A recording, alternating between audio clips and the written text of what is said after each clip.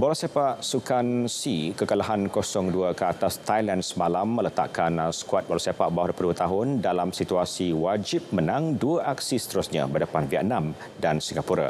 Skuad Harimau Muda harus memungut mata maksimum sekiranya masih memasang impian melangkah ke separuh akhir.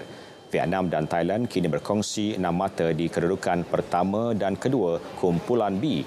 Malaysia berada di kedudukan ketiga mengumpul tiga mata, manakala Singapura dan Laos masing-masing memungut satu mata. Aksi semalam menyaksikan Malaysia beraksi cemerlang terikat tanpa jaringan dengan Thailand pada babak pertama. Gawang Malaysia dikawal Syekh Izhan Nazrul Syekh Azman bagaimanapun bolos dua kali pada babak kedua. Hasil jaringan Anan Yot Sangwal dan Yot Sakon Burapa.